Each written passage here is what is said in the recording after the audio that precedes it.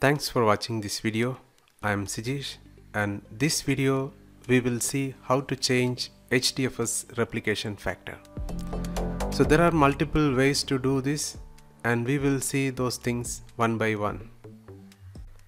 So now we will see how to change replication factor at cluster level so that the new files that we are creating will be with this new changed replication factor. Get into Ambari console, select HDFS menu and uh, then go to the configuration then search with the filter.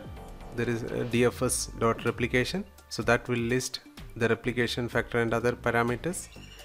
Change that replication factor dfs.replication that value to whatever the value you are going to set. So add proper description and save that change. So once you have done the change or save that change you may need to restart these components and do restart those components so once you complete the restart and the cluster is up and running so you will have with I mean your HDFS will be with new replication factor so next we will see how to change the replication factor for a directory or file which already exists in HDFS.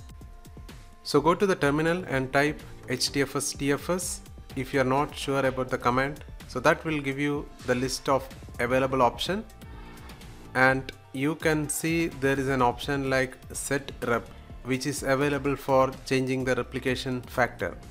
Okay and see the parameter that it provides hyphen r hyphen w and replication factor and path so you can use that uh, for changing the replication so let me check one direct uh, directory slash user root. And inside that I have one file. And if you see that the 3 means this is the replication factor for that file.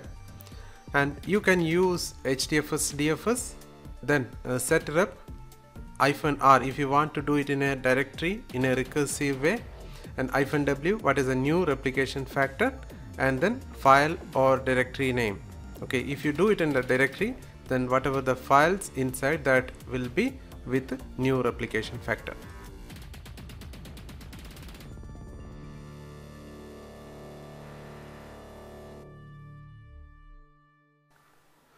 So I executed that command hdfs dfs set rep r and uh, replication factor 1 on this directory slash user root.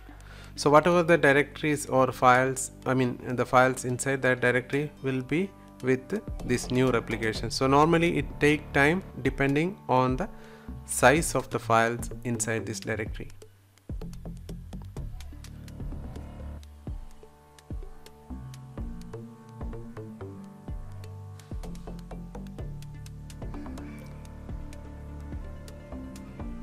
So you can use this command for changing the replication factor for a directory or a file also.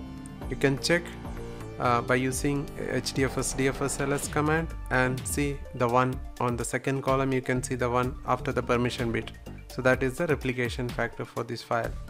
And also you can use fsck uh, uh, sorry I missed that uh, hyphen files. I need to add hyphen files also. So that it will show the replication factor also. Here you can see the live replica 1 so this is how we can change the replication factor of an existing file at the directory level or file level.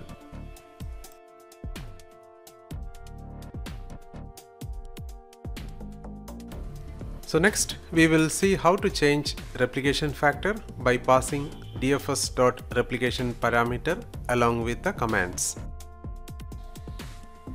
So here we are using dfs uh, dot replication along with the command. So we can use uh, any of these hdfs command which do a write on hdfs and along with that we can pass this parameter. So use ls command and see the file is created with new replication 1. Okay.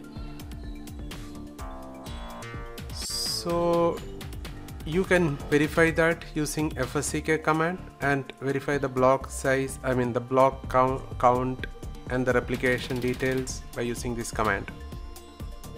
Okay. So you can see the replication is 1 here. So you can use this option uh, "-d replication along with any HDFS commands that do write operation in HDFS So that's it about uh, changing the replication factor by passing a DFS replication parameter along with the command. So I hope you like the content so please do subscribe to get more updates. I will be uploading lot more contents over time. Thank you. Bye.